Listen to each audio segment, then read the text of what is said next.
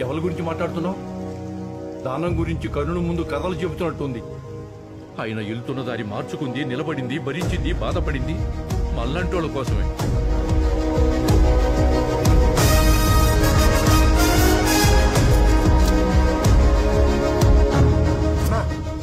మినిస్టర్ని ఎట్టి పరిస్థితుల్లో మన యూనివర్సిటీలో అడుగు పెట్టి